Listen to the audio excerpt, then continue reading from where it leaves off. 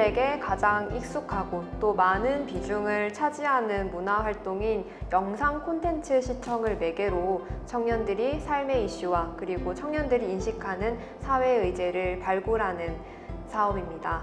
금플릭스를 통해서 공론장의 문턱을 낮출 수 있고요.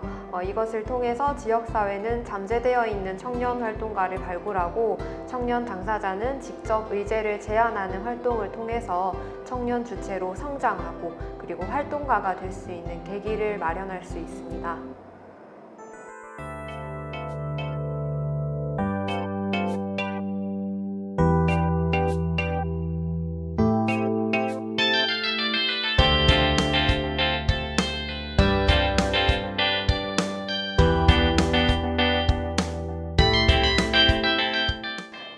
문턱낮춤2는 금정구에 거주하거나 활동하고 있는 청년들이 직접 문화적 실험을 제안하고 실행하는 프로젝트입니다.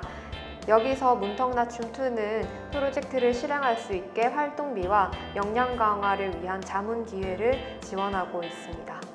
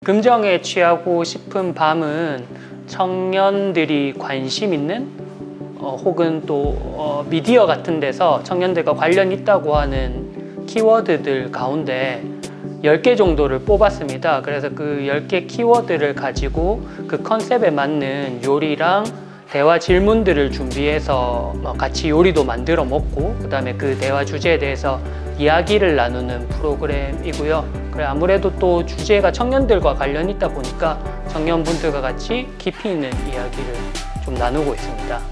나눴습니다.